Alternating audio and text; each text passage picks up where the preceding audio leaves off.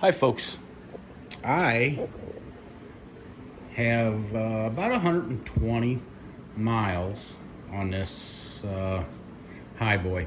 I'm not a uh, bicycle person, really, uh, but whenever I go on my road trips and go camping, I thought, well, you know what, it'd be really good when I go places. It'd be really good to have an e-bike, like when I was at the Grand Canyon or or at any of the national parks or wherever. I never had one, so I bought one. Uh, I'm not a bicycle guy. I do have that bike, but you see it's hanging there. It hasn't moved in about two years.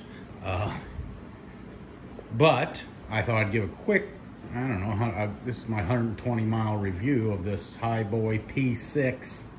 Uh, I absolutely love it. It's, go it's going to do exactly what I wanted, want it to do. Um, uh, when I go on my trips. Uh, something to ride it. You know, just something to ride and uh, get around on. Um, first thing I did was change the seat out.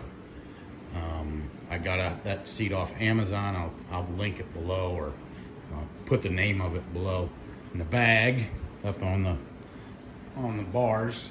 And I changed out what everybody else does. I changed out the uh, brake calipers right away. And uh, the phone holder, it was worth the $30. It's a great little phone holder.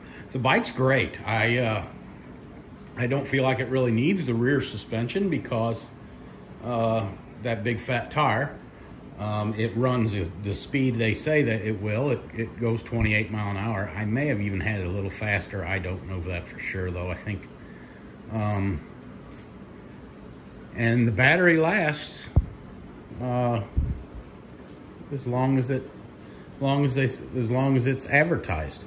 Um, I really enjoy it. Now is it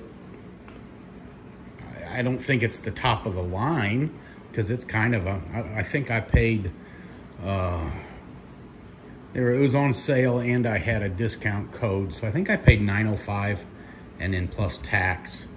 But uh,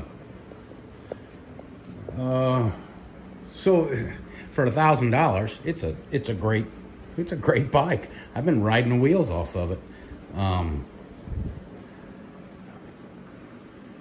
like I said, the only complaints I had is my butt didn't fit the seat, but that's because I'm not a bicyclist. And uh, so I just put a new seat on it. And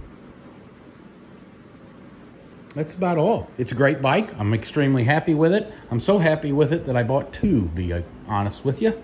Um, and uh, I love it. So that's my uh, two cents. A guy who just doesn't know anything about e-bikes, but uh, this one so far does everything they say it's going to do, and I like it. Bye. One thing that, that I uh, didn't mention, I might buy those fenders. I, I, I read online that there's uh, fenders that work on it.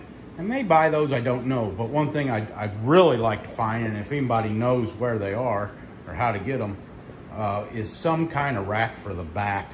So like I can ride up to the camp store or something if I'm you know out in the national park and national forest and don't feel like uh, moving my, taking my vehicle and maybe losing my spot, um,